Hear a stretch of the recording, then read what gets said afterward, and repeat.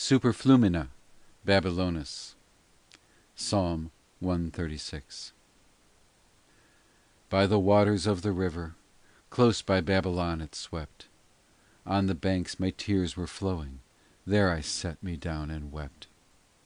I remembered thee, O Sion, With thy love my heart was sore; Sweet to me was thy memorial, So I wept still more and more.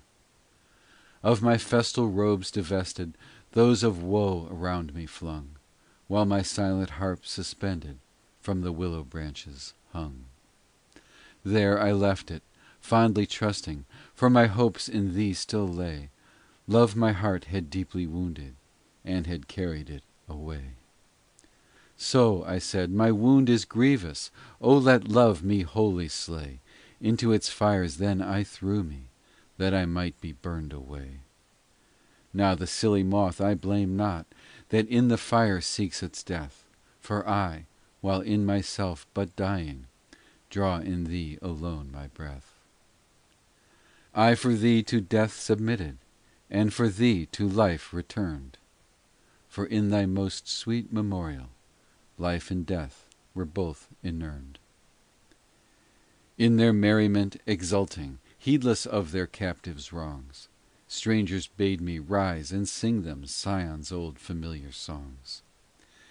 Sing us of the songs of Sion, We would hear them. Strange demand! How can I, lamenting Sion, Sing them in a foreign land? In the chants once so familiar How can I uplift my voice? May they never be remembered If in exile I rejoice. Let my tongue from speech refraining To my palate silent cleave, If I, in the land of exile, Where I dwell alone and grieve, Even amidst the verdant bowers Of the Babylonic land, Should forget thee, let my right hand Cease its cunning to command.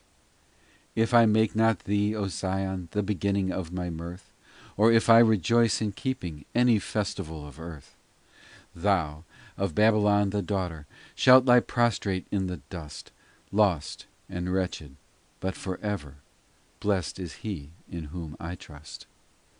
In the day of retribution He will thee at last afflict; He will lay on thee the burden Thou didst once on me inflict.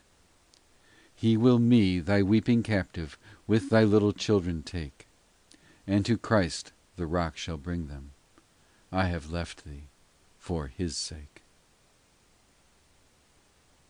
End of Section Gutenberg's